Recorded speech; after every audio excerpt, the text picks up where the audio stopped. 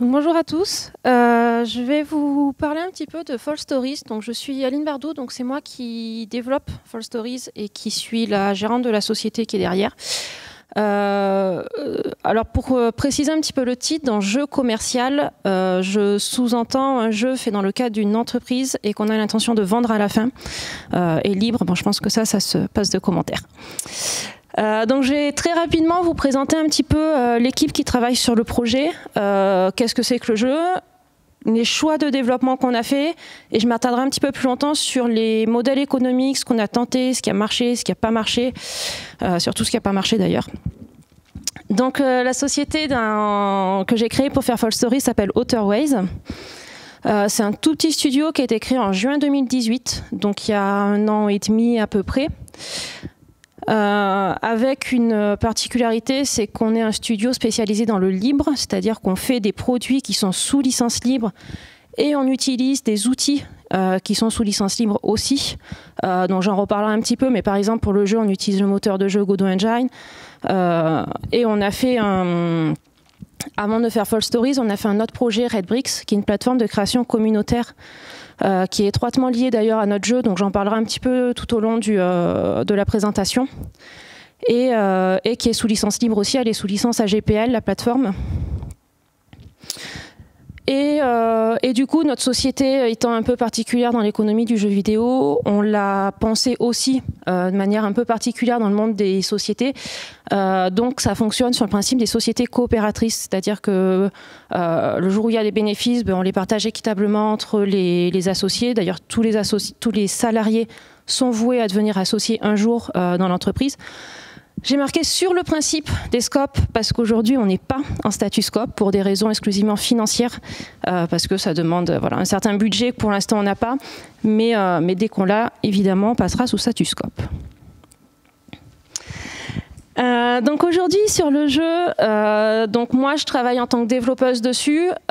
Célène a été notre game designer pendant six mois euh, pour le prototype, elle a écrit donc toutes les mécaniques de jeu, tout le scénario, toutes les, implications. Donc euh, voilà, elle a passé toute, elle a, elle a décrit toutes les bases du jeu. Euh, Kevin a travaillé principalement sur la communication et surtout en tant qu'éthologue. Donc pour ceux qui ne savent pas ce qu'est un éthologue, c'est la science du comportement des animaux. Parce qu'on a un jeu qui dans lequel il y a beaucoup d'animaux et on a travaillé beaucoup sur la symbolique, sur, euh, sur leur comportement, sur leur représentation au niveau des animations. Euh, voilà, donc il nous a apporté son expertise un petit peu là-dessus. Euh, on travaille avec Louis Godard sur tout ce qui est composition, sound design, etc. Et pour l'instant, on n'a pas de graphiste à l'intérieur de l'entreprise, donc on a sous-traité auprès de Waco Factory euh, les, euh, ben, le concept art que vous avez vu euh, sur la page introduction et sur les graphismes de notre personnage principal. Donc au niveau du jeu, alors c'est un, oups, excusez-moi. Donc c'est un Metroidvania.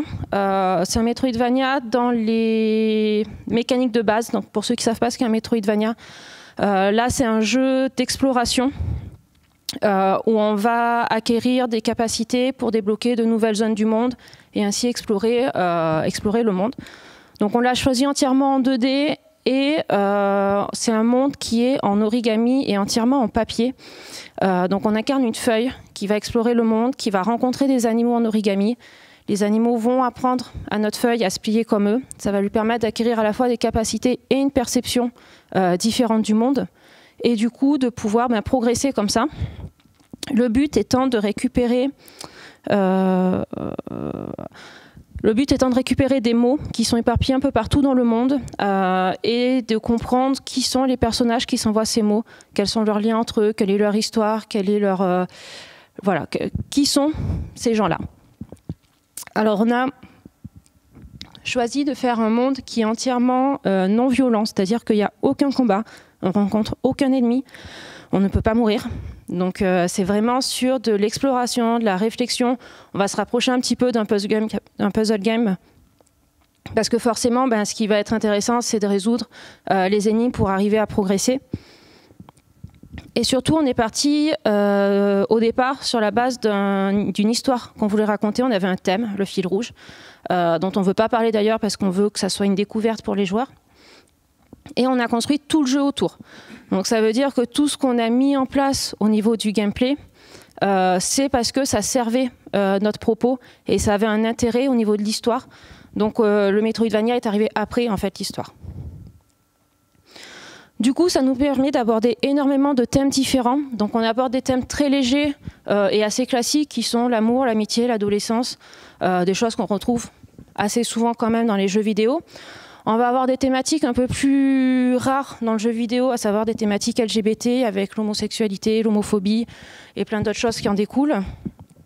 Et surtout, on va avoir des thématiques euh, beaucoup plus dures, euh, avec de l'exclusion, de la dépression. Euh, donc forcément, notre public, ça va pas être les jeunes enfants, même si au départ, on pourrait penser que c'est un jeu très mignon.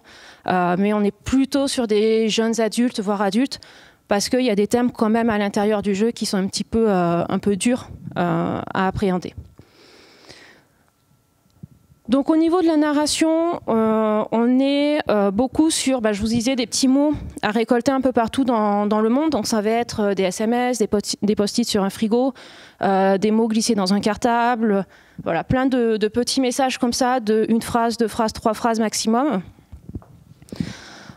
Ensuite, on va avoir des lettres beaucoup plus longues. En fait, à chaque fois qu'on rencontre un animal, donc par exemple un lapin, il va se déplier pour nous montrer après le pliage.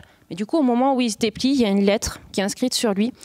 Et euh, ça permet d'aborder tout un pan d'histoire sous le prisme d'une émotion. par exemple, le lapin est relié à l'amour. Et donc, du coup, ben, on va découvrir une lettre d'amour entre deux protagonistes. Et ça va permettre de, euh, de voir vraiment beaucoup plus de choses euh, à ce moment-là. Donc, il va y avoir huit formes. donc, plus, enfin, cette forme plus la forme de base. Donc du coup, on a sept lettres en tout dans le monde à découvrir. Donc ça nous permet voilà, d'avoir par moment des passages un peu plus, euh, un peu plus importants. Euh, on a toute une symbolique, vous l'avez peut-être vu sur le, concept art de départ avec une feuille qui arrive près d'une montagne. Donc là, assez classiquement, la montagne à gravir pour, pour progresser dans sa vie. Donc on essaye d'abord de la gravir, on n'y arrive pas, on essaye de trouver d'autres chemins. Euh, voilà, donc ça représente un petit peu le, cheminement euh, de nos personnages. Et évidemment, comment on franchit les obstacles, de quelle façon, etc. Et tout ça est à découvrir, bien sûr, en jeu. Donc sur le développement du jeu, aujourd'hui, on en est à six mois de développement sur le prototype. Euh, donc ça nous a permis de, fixer le concept de base, à savoir le changement entre les différents animaux, les capacités euh, euh, du lapin, de la chauve-souris et de la grenouille, voir si ça fonctionnait bien ensemble, si les différences de perception étaient aussi intéressantes. Euh, aujourd'hui, on n'a pas vraiment de graphisme à part le personnage principal, donc tout le monde est juste en sprite gris. C'était pas forcément utile pour le prototype. Et on a évalué à peu près 18 mois de production restants. Donc on en est vraiment encore au, au petit quart, parce que bon, il ne faut pas se voiler la face, le prototype, c'était la phase la plus rapide. Euh, d'ailleurs, pour l'instant, le prototype, on l'a fait à deux personnes. Euh, pour le, reste de la production, il faut qu'on soit cinq. Donc, c'est euh, beaucoup plus important ce qui nous reste à faire que ce qu'on a déjà fait. on a choisi de faire tout le suivi du développement sur RedBricks. Donc, pour vous expliquer un peu RedBricks, l'idée, c'est de remettre du lien entre les créateurs et les joueurs. Donc on a créé une plateforme sur laquelle les créateurs expliquent où ils en sont dans le développement du jeu, qu'est-ce qu'ils ont prévu de faire, comment ils ont prévu de faire. Et les joueurs sont invités à donner leur avis, euh, dire ce qui marche, ce qui ne marche pas, éventuellement proposer leurs idées. Euh, et, nous, sur la phase de prototypage notamment, on a mis un, prototype tous les mois. Euh, donc en tout, on a mis six prototypes pour montrer ce qu'on avait fait, où on en était.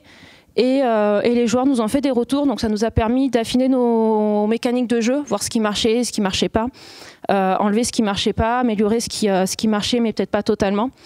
Et, et, donc on compte continuer d'utiliser RedBricks pour, pour le lien avec la communauté en fait.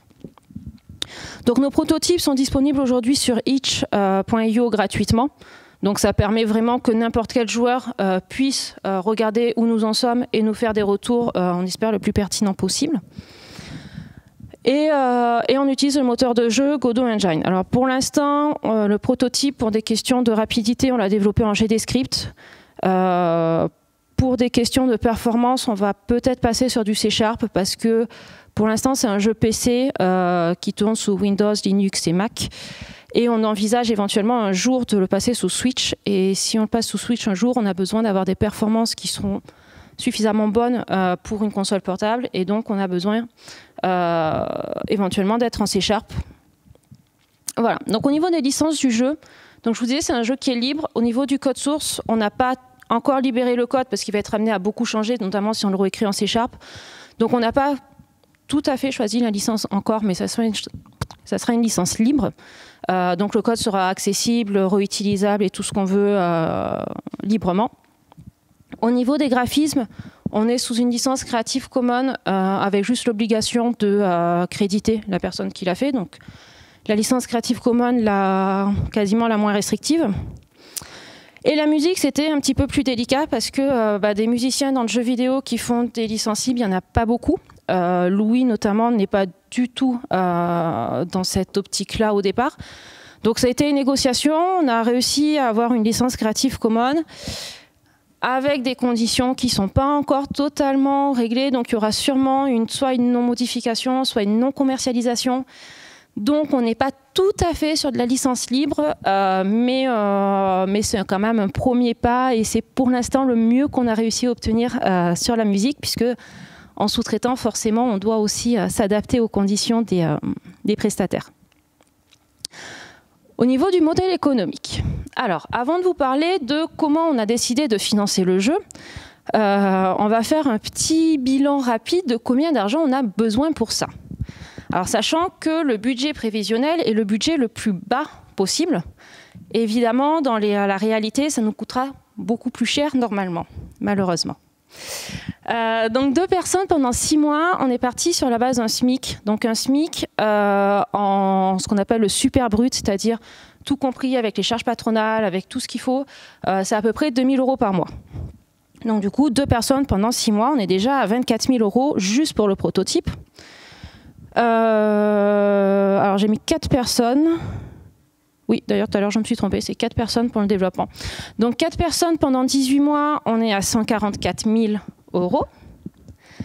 Tout ce qui est musique, sound design, on a une enveloppe à peu près de 10 000 euros.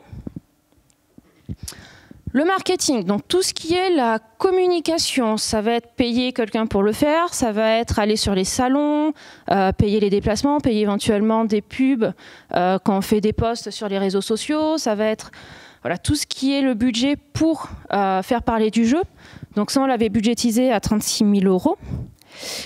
Et donc, on en arrive à un budget de 214 000 euros. Donc là, déjà, j'ai pas parlé de euh, bah, quand on aura un local pour euh, héberger les personnes, quand on aura euh, les frais d'électricité, d'assurance, de plein de choses autour qui sont forcément obligatoires dans la vie d'un studio. Et on est déjà à un budget relativement conséquent. Hein, sur mes économies personnelles, je n'avais pas ça. Donc, il a fallu réfléchir à comment faire pour avoir cet argent et pouvoir avancer. Donc, euh, quand je suis arrivée dans le jeu vidéo, j'avais une vision très, très, très naïve où je me suis dit, ben, euh, moi, je fais un jeu libre, c'est très bien. Euh, je vais faire un jeu qui est gratuit à la fin et je vais demander à ce qu'on me le finance pendant la production avec les joueurs. Donc, je vais faire du financement participatif tout au long du projet et tous les mois, les joueurs vont me donner plein d'argent pour financer cette, cette production. vous doutez bien que ça n'a pas du tout marché. Euh, donc en fait, Redbricks au départ euh, répondait à ce besoin-là, euh, puisqu'on a une partie de financement participatif sur, sur la plateforme.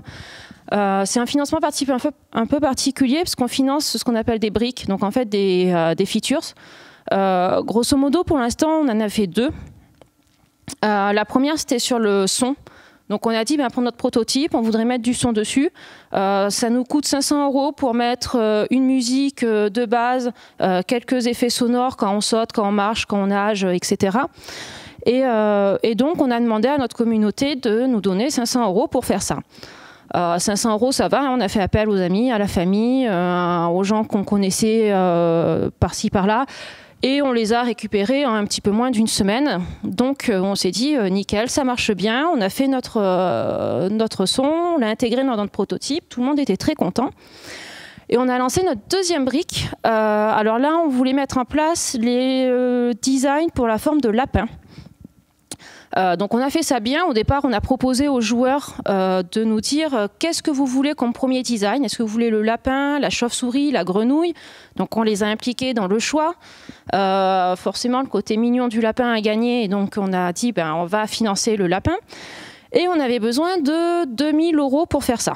2000 euros parce qu'on sous-traite. Donc bah, forcément, il faut que l'entreprise fasse une marge à côté, il faut payer le concept art, parce que d'abord il faut faire des croquis, après il faut dessiner euh, les différentes formes, il faut les animer, il faut les mettre de la couleur dessus. Enfin, il y a beaucoup de travail malgré tout sur euh, là-dessus. Et donc 2000 euros, ben, on a refait appel à la famille, aux amis. Euh, ils commençaient à nous dire que déjà on abusait un petit peu. Et on avait fait appel aux joueurs qu'on connaissait pas forcément. Et, euh, et ça a été dur. euh, on avait à peu près un mois pour le récolter et on a obtenu le financement au bout de genre 28 jours. Donc on a beaucoup transpiré. Et là on s'est dit, si on n'y arrive pas, on va quand même les mettre en place. Donc le message qu'on va envoyer, c'est dire aux joueurs, bon finalement, vous n'avez pas besoin de payer, on le fait quand même. Euh, donc on était très embêtés, on ne savait pas comment faire. Heureusement, on n'a pas eu besoin de décider parce qu'on a réussi à avoir l'argent. Et on s'est dit, euh, le modèle, euh, ça marche pas. On peut pas continuer comme ça. et en fait, tout simplement, hein, pour le problème principal, c'est que bah, c'est notre premier jeu, on n'est pas connu, on n'a pas de crédibilité dans le monde du jeu vidéo. Et du coup, bah, quand on n'a personne qui nous suit derrière, se reposer financièrement exclusivement sur une communauté inexistante, euh, dit comme ça, ça paraît évident, mais euh, on l'a appris douloureusement sur le tas. Euh, c'est pas possible. On avait un deuxième problème d'ailleurs, c'est qu'on s'est reposé exclusivement sur Redbricks, qui est notre plateforme qu'on a créée en parallèle, euh, qui elle-même n'était pas connue et ne disposait du coup pas de d'un capital sympathie euh, auprès des joueurs qui ont eu beaucoup de mal à s'inscrire sur la plateforme pour nous donner de l'argent. Euh, en plus, voilà, quand il y a de l'argent en jeu sur une plateforme qu'on connaît pas, même si elle est libre, euh, c'est pas toujours rassurant. Donc, on a un petit peu euh, cumulé les difficultés. Et du coup, ben, forcément, avec aucune visibilité à long terme, je pouvais pas embaucher, prendre le risque de prendre quelqu'un en CDI si je savais pas si le mois prochain je pouvais le payer.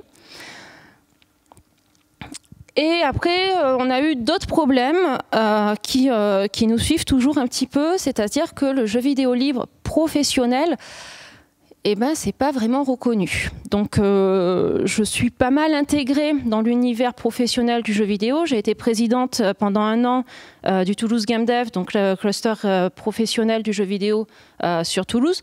Donc, j'ai quand même pas mal de contacts. Et malgré tout, quand je, dis que je fais du libre, eh ben, il y a toujours un petit ah pourquoi?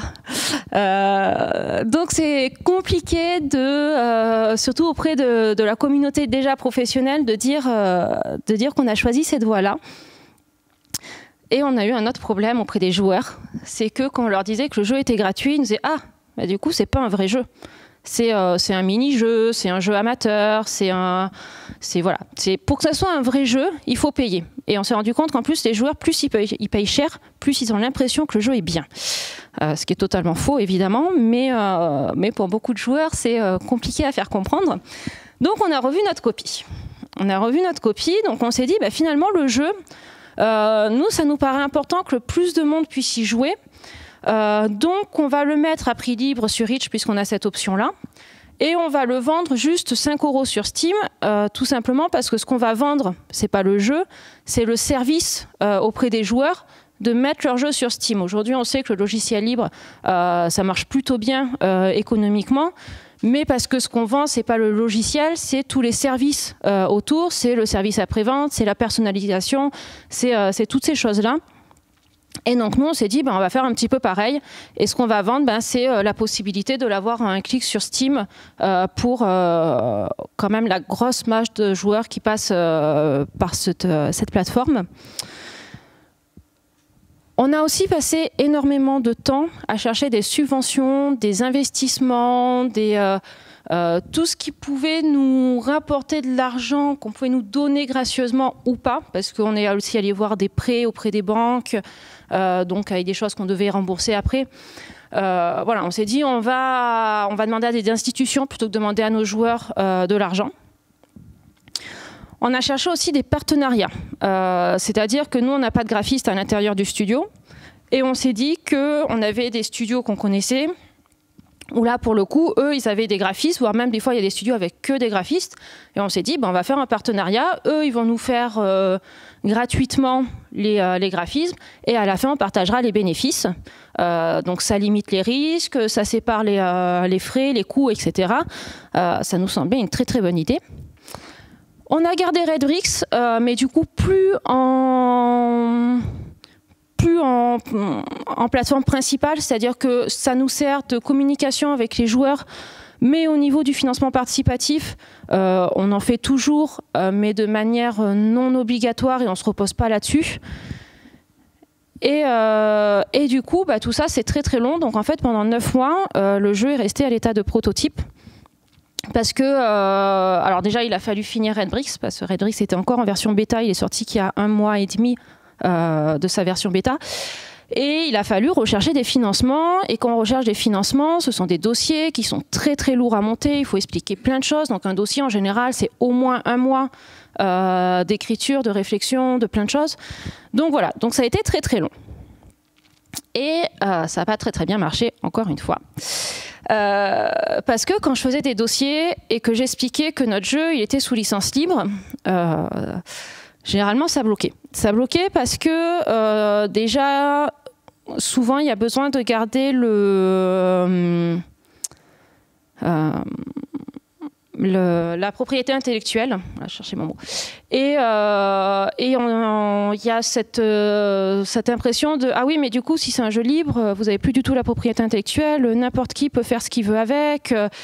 Et c'était très très compliqué d'expliquer que euh, ben non, euh, ça restait quand même notre jeu et, euh, et voilà. Donc ça et, et forcément voilà.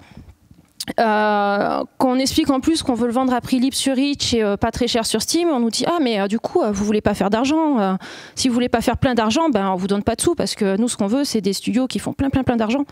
Et bon je schématise un petit peu, hein, mais mais grosso modo c'est quand même ce qu'on nous a dit. on est même allé voir des des fonds d'aide d'investissement pour les femmes donc vraiment euh, spécialisé dans, euh, dans l'amélioration, etc., pour de la visibilité.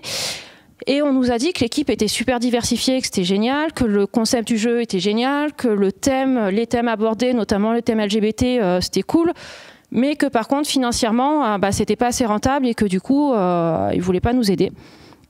je peux comprendre, mais du coup, psychologiquement, c'est pas toujours facile à accepter. Et, euh, et, en plus de ça, en même temps, euh, bah, les partenariats avec les autres studios ont aussi euh, échoué pour plusieurs raisons. D'abord parce que ces studios-là étaient eux-mêmes financièrement un peu en difficulté et que bah, ont préféré se focaliser sur leur propre projet. et ensuite parce que bah, ça les a fait un petit peu peur de s'associer à un projet qui était à la fois libre et avec des thèmes parfois délicats euh, à traiter dans le jeu vidéo et ils voulaient pas forcément euh, se retrouver attachés à, euh, cette prise de risque là. donc du coup voilà, les, partenariats ont aussi échoué. Donc au final ça a fait neuf mois où eh ben, il ne s'est pas passé grand-chose au niveau de l'avancée du jeu et au niveau économique, mais ça nous a permis de revoir encore une fois notre copie. Et du coup, on a décidé d'arrêter un petit peu les frais. Alors, on continue le développement, bien sûr, mais on a un modèle beaucoup plus euh, traditionnel. Euh, donc, on a gardé pour l'instant la même politique de prix. Euh, on réfléchit encore quand même. Est-ce que finalement, on ne le vendrait pas à son prix normal sur Steam? Parce que on s'est rendu compte que finalement, la sphère libriste et la sphère de joueurs, c'était quand même deux sphères qui étaient relativement séparées, malheureusement et que euh, si on le met euh, même à 15-20 euros sur Steam, aucun joueur va savoir qu'il euh, peut aller le trouver gratuitement en téléchargeant les sources sur GitLab ou en, ou en allant le trouver par un autre biais ou en allant même sur Reach. donc du coup, voilà, on réfléchit encore un petit peu à ça. Pour l'instant, on est toujours sur un prix le plus faible possible, surtout pour une raison particulière, c'est que, comme je vous le disais au départ, on a construit notre jeu autour d'un message qu'on veut faire passer. Et on aimerait que ce message soit le plus répandu possible. Donc on aimerait que le plus de joueurs possible puissent y jouer. Et on ne voudrait pas que le prix soit un obstacle, euh, notamment dans des communautés un peu marginalisées qui n'ont pas forcément les moyens de mettre même 15-20 euros dans un jeu. Euh, on voudrait leur permettre de pouvoir jouer quand même au jeu. donc voilà, c'est une grande réflexion qu'on a encore, qu'on n'a pas totalement tranchée. Euh, ça paraît un peu bizarre, mais euh, vu qu'on manque d'argent, on a décidé d'augmenter le budget marketing euh, fortement, hein, puisque c'était 36 000 au départ, on passe à 90 000. pour une raison en fait assez simple, c'est que notre jeu, notre but, c'est de le vendre. Donc pour le vendre, il faut qu'il y ait des joueurs, et pour qu'il y ait des joueurs, il faut qu'on entende parler du jeu. Donc en fait, faire un jeu dans notre coin en supprimant le budget marketing, ça avait aucun intérêt. On était sûr de faire zéro derrière. Euh, donc en fait, on remet tous nos efforts plutôt sur le marketing, sur la commercialisation, sur euh, faire parler du jeu, euh, montrer en quoi bah, ça marche, à quel point le modèle qu'on a choisi peut être pertinent. Et du coup, bah, pour financer, ben, on fait de la prestation. Donc on cherche d'autres projets, euh, surtout des projets qui ne sont pas dans le jeu vidéo parce que ça paye quand même beaucoup mieux de faire du développement euh, pour des grandes entreprises que pour du jeu vidéo. Et euh, bah, c'est pas drôle tous les jours, mais du coup, ça permet d'assurer un revenu beaucoup plus régulier. Euh, quand on prend des projets de 6 mois, 1 an, euh, forcément, là, on est assuré d'avoir euh, d'avoir une rentrée d'argent. Euh, et c'est, en fait, faut pas se voiler la face. Hein. Le recours à la prestation, c'est ce que font 95% des studios français indés qui font des jeux propriétaires. Donc, en fait, on est exactement sur le même modèle que n'importe quel studio on a quand même décidé de garder Redrix pour le lien avec les joueurs. Donc là, euh, pour Redrix, on est passé sur des abonnements mensuels. Euh, donc les gens qui veulent nous soutenir en nous laissant à euh, 5 euros, 10 euros par mois, ou 1 euro même, c'est très bien, on est très content mais euh, on leur donne des avantages du coup. Et pour l'instant, c'est pas notre source de revenus principale. Après, si ça, se met à grossir et qu'on arrive à avoir une communauté suffisante pour plus faire de prestats à côté et pour pouvoir offrir des avantages aux joueurs, tout le monde y trouve son compte, c'est très bien. Mais, euh, pour l'instant, on, euh, on mise pas toute notre stratégie commerciale là-dessus en fait. Et on va quand même faire une demande de subvention publique, donc auprès du CNC. Ils ont un fonds d'aide pour le jeu vidéo qu'on n'est absolument pas sûr d'avoir. Hein. Euh, donc on va quand même la demander. Ça nous permettra de de, bah de, plus faire en fait de prestations sur la fin du projet et donc de pouvoir se, se focaliser dessus. Euh, et on a choisi de le faire tardivement parce qu'on s'est rendu compte que de le faire trop tôt, euh, notamment là où c'est une phase de prototype, on n'a pas de graphisme notamment, euh, ça avait tendance à, euh, bah, à, freiner les investissements. Donc on préfère avoir un jeu beaucoup plus abouti, beaucoup plus joli, avec beaucoup plus d'éléments de, gameplay dedans avant de, de demander un financement pour, bah, pour peaufiner le jeu. Euh, on est quand même conscient que ce modèle a un certain nombre d'avantages et d'inconvénients. Donc les inconvénients, j'en ai un petit peu parlé, hein, mais forcément quand on fait de la prestation, bah, tout le temps qu'on passe sur d'autres projets, c'est du temps qu'on ne peut pas passer sur notre jeu. Donc les 18 mois euh, de production restante, c'est 18 mois à temps plein. Donc forcément, si on fait de la prestation, bah, notre jeu, on va mettre 2, 3, 4 ans à le sortir. Euh, on prend moins de risques, mais forcément, il faut aussi s'attendre à faire beaucoup plus en marathon, euh, arriver à développer le jeu sur la durée, ce qui n'est pas forcément euh, toujours facile psychologiquement. Et on reste dépendant des projets qu'on trouve. Alors dans le développement informatique, euh, je ne fais quand même pas trop trop de soucis.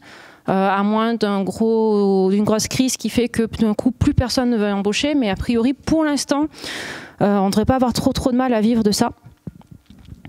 Et du coup, en n'ayant pas, eu d'aide privée, en n'ayant pas eu de, euh, de choses comme ça, euh, on garde la production totale euh, sous notre contrôle. Donc on peut montrer les, releases des jeux quand on veut, on peut faire la communication qu'on veut, on peut mettre le prix qu'on veut à la fin. Et du coup, pour l'instant, on veut garder le prix faible, je vous disais, pour garder le plus grand nombre possible de joueurs au final. Voilà, je vous remercie et si vous avez des questions, je vous écoute.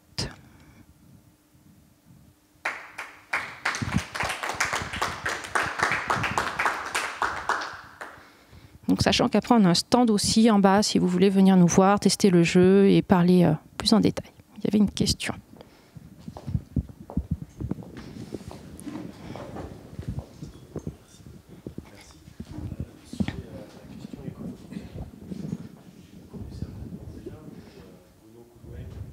développeurs pour J'ai compris s'étaient déjà posé beaucoup ces questions et avaient mis en place un système économique qui consiste à faire payer en fait ceux qui font pas l'effort d'aller vers le libre et de garder la gratuité ou le prix libre pour tous les copains entre guillemets. Donc par exemple, ça fait qu'ils facturent, j'ai compris, à 8 ou 9 euros sur euh, le Google Play, l'App Store de Google. Mhm. Et si on passe par, par F-Droid, c'est un, prix libre, enfin une donation ou gratuit.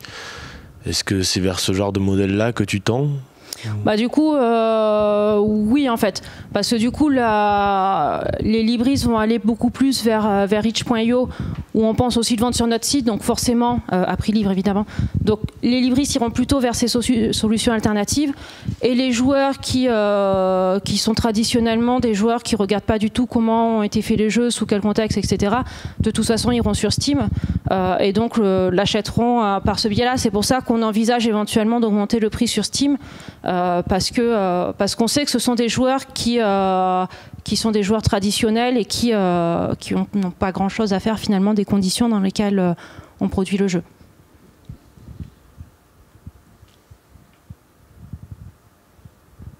Est-ce qu'il y a d'autres questions?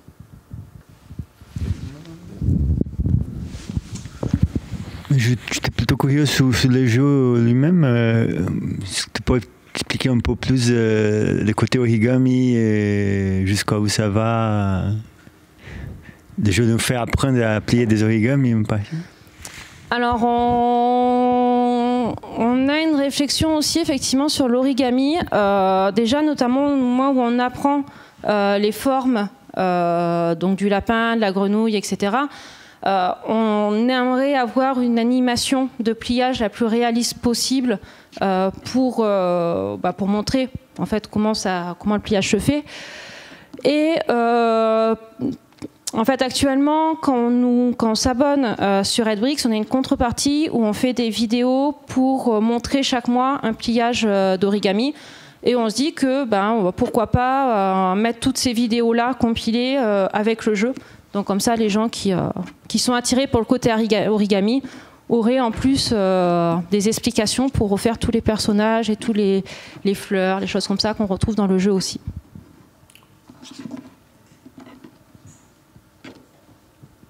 D'autres questions?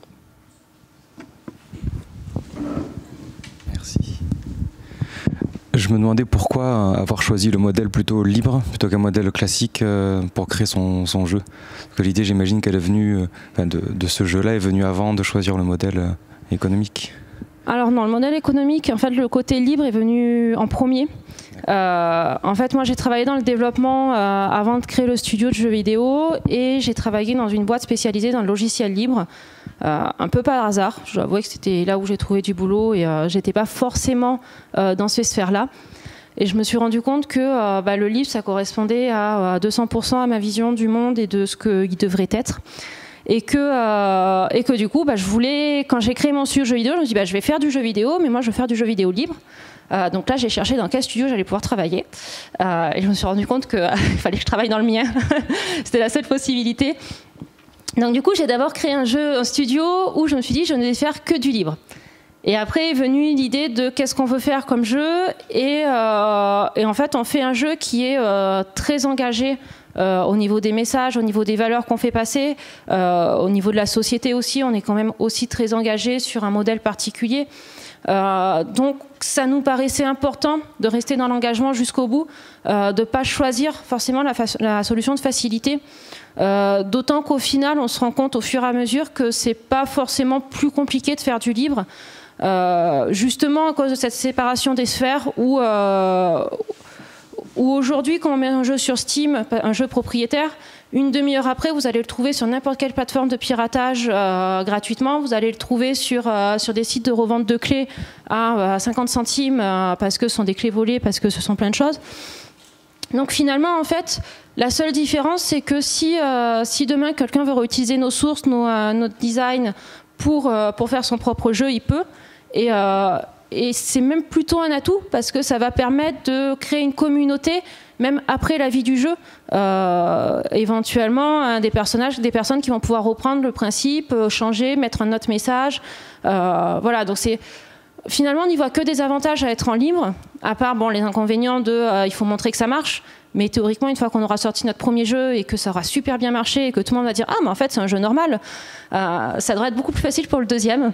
Mais, euh, mais voilà, c'est pas. L'engagement nous paraît important et, et, correspond à notre jeu. Et surtout maintenant qu'on a commencé à vouloir faire un jeu libre, si demain on dit Bah non, finalement, c'est plus simple, on fait un jeu propriétaire, bah là, on trahit complètement nos valeurs et, et ça n'a plus aucun sens.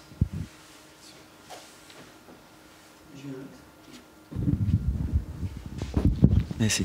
Euh, bon, je vois que vous avez pas que fait un jeu libre, euh, commencé à faire un jeu libre, mais aussi avec des outils libres.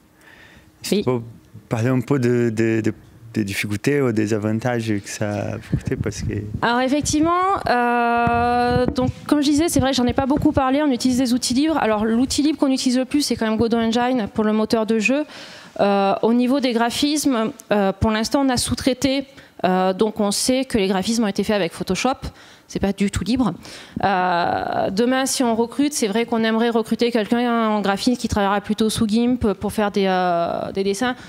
On va pas se voiler la face. Je pense qu'on a 60% de chances d'échouer à trouver un graphiste qui maîtrise GIMP, parce que dans le jeu vidéo, ils sont de toute façon tous formés sous Photoshop. Donc, donc ça risque quand même d'être compliqué. mais au niveau de Godot, euh, c'est un choix qui s'est révélé être une évidence au départ et qui euh, a quand même son lot d'inconvénients. Euh, j'aime beaucoup Godot et, ça a plein d'avantages au niveau du contrôle, par exemple de la manette. Nous, c'est un jeu qui joue beaucoup à la manette. le mapping des touches est très très bien fait. que je mette une manette Xbox ou PS4, ça marche parfaitement, ce qui n'est pas du tout le cas avec Unity. par contre, faut pas se voiler la face. Au niveau des performances, on perd énormément en étant sur Godot.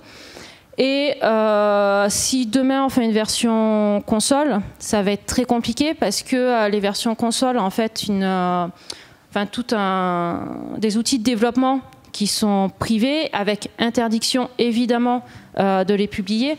Donc cette partie-là sera forcément propriétaire. Et ça va nous demander un gros travail en fait pour adapter Godot pour le mettre sur console. Euh, c'est possible, hein, il y en a qui l'ont fait, mais, euh, mais c'est compliqué et ça aurait été évidemment beaucoup plus simple euh, avec Unity qui, qui embarque déjà tous ces outils-là. donc voilà, ça, a quand même un certain nombre d'inconvénients. Godot aussi a beaucoup moins de, de, temps de développement, donc a forcément moins d'outils embarqués. potentiellement peut être peut-être moins stable aussi parce que bah, voilà, il y a encore des choses à améliorer. Euh, après, c'est aussi un pari sur l'avenir, c'est-à-dire que c'est quand même un moteur qui, euh, qui gagne en popularité, qui gagne en stabilité, qui gagne en professionnalisme aussi. Et, euh, peut-être que dans 5 ans, tout le monde fera son jeu avec Godot et nous, on aura une expertise dans ce domaine-là. et voilà. Et donc, ça, voilà, ça, ça a ses avantages, ça a ses inconvénients peut-être un peu plus d'inconvénients que d'avantages, mais, mais là encore, c'est un choix aussi, aussi engagé. Et, et ça nous paraissait bizarre de faire un jeu libre avec des outils euh, non libres. Ça vous est arrivé de faire des contributions déjà au, Godot Non, non j'ai euh, J'ai malheureusement pas du tout le temps. Euh, alors, j'ai pas rencontré de problème en plus que je devais forcément résoudre. Euh, voilà. Donc, si j'avais fait des contributions, c'était vraiment pour aider. Et là, pour le coup, euh, moi, je suis la seule développeuse à la force sur Redbricks et sur Fall Stories. à un moment donné, j'ai un temps limité aussi. Mais, mais pourquoi pas un jour J'aimerais bien, en fait, même dans le modèle de la boîte, qu'on puisse se dégager une après-midi tous les 15 jours pour contribuer au libre et notamment sur, sur, les, outils, sur les outils libres.